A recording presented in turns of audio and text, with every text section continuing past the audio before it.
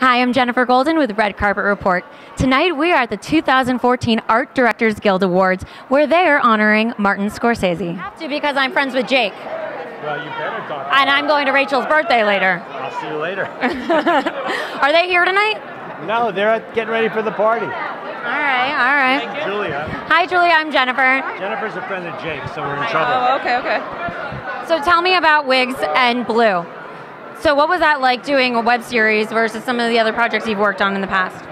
Um, you know, it's not that much different. It's uh, it still feels like we're making a, a really high quality show, and the only difference is there are fewer cooks in the kitchen. It's really just me and Rodrigo and Jon who who get to decide on our content. But um, it's great, and it comes out so quickly, which is really nice.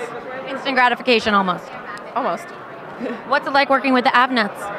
fantastic. But don't ask me to pick my favorite. Oh, okay. I, I hope that your favorite is Jake Oh, okay. for a number of reasons. Whatever you say, boss. Thanks, guys. Thanks for watching, and if you like this interview, don't forget to hit the like button and subscribe to the channel, and don't forget to leave us some comments. I want to know what you think. And Joe Manganiello told me he'd be my Valentine. My Valentine.